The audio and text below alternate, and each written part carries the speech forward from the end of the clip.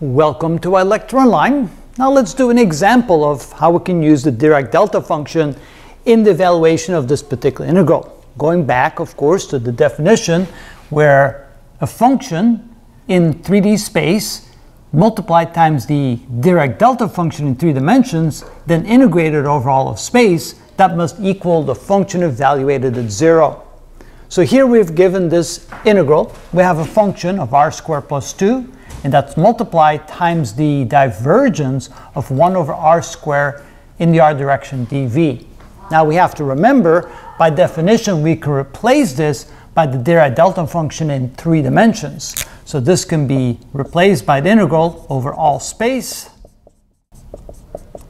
of the function r squared plus 2 multiplied times the Dirac delta function in three dimensions. Now, because of this, we also need to have a 4 pi factor in there, so multiply times 4 pi times the Dirac delta function in three dimensions in the r direction times dv. So what we've done is we replaced this quantity right here in the integral by what the equivalent is by definition. That's by definition, the, the divergence of 1 over r squared in the r direction can be replaced by 4 pi times the Dirac delta function in three dimensions.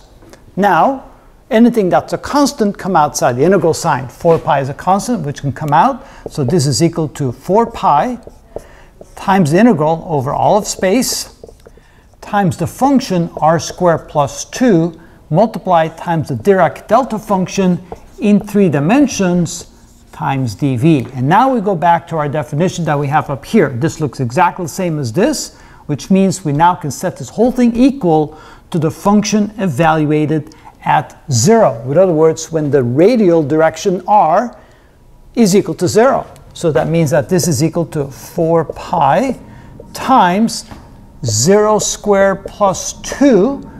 And of course, that's equal to 4 pi times 2, which is equal to 8 pi.